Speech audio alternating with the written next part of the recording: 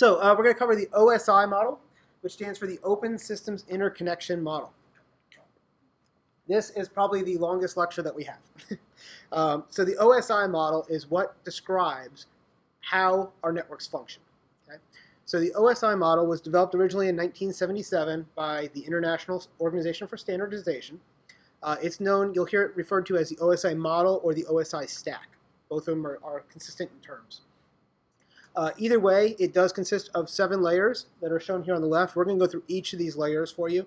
Uh, the physical, data link, network, transport, session, presentation, and application layers. Uh, and the reason why it's important is it's very helpful for us when we troubleshoot our networks. You will see a lot of questions on the test where they'll give you a problem and describe it, and you'll have to figure out, based on their description, are we talking about a data link problem, layer 2? Or are we talking about a transport layer problem, layer 4? Or an application layer problem, layer 7? So as we go through, uh, it will help you in your troubleshooting efforts. So why do we even have this reference model? Because that's all the OSI model is, it's a reference model. In fact, the OSI model doesn't even describe our current networks perfectly. Um, it is a generalized model that will talk about all computer networks, not just the one we use nowadays. Uh, but it does help us categorize the functions into particular layers.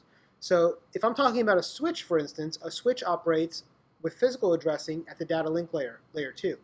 If I'm talking about a router, it works off IP addresses, so it's a layer 3 issue with networks. And we'll be able to talk about that with the various different layers. It allows us also to compare our technologies across different manufacturers. So if I'm looking at a device that's a Juniper switch or a, or a uh, Cisco switch, they may operate both at the layer 2, and I can compare them equivalently. Maybe the Juniper switch is a multi-layer switch and it does layer 2 and layer 3, but the Cisco switch I'm looking at is only layer 2.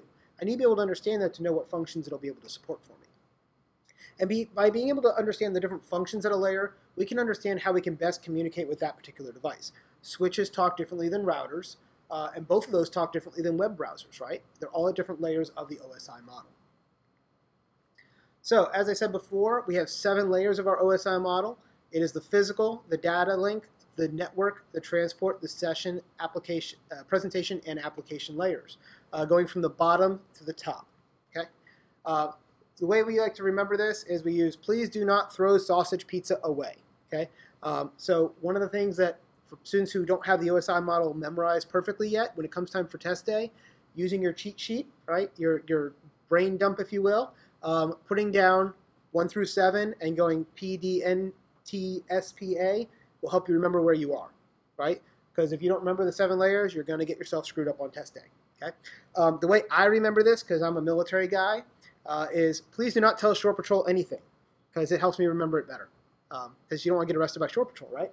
Uh, so please do not tell Shore Patrol anything, or please do not throw sausage pizza away. Either way, it is your acronym. There's a ton of other ones out there. Uh, if you have a dirty mind, just go on the internet. You'll see other people have a dirty mind too.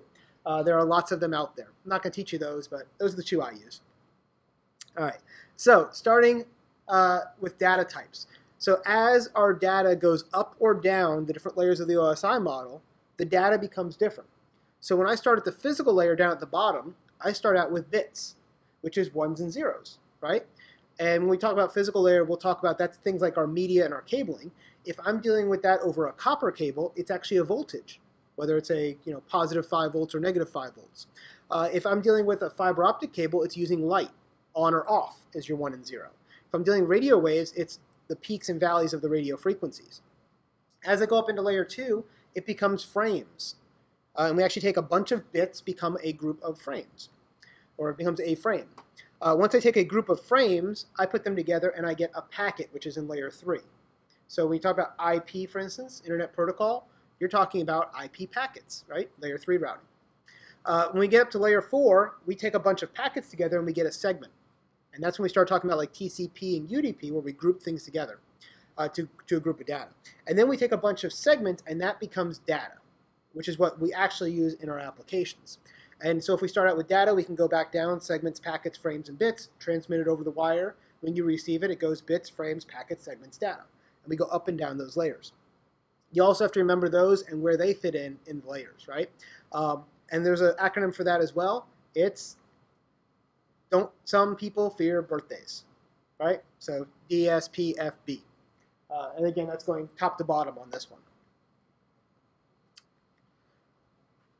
And that is the OSI model.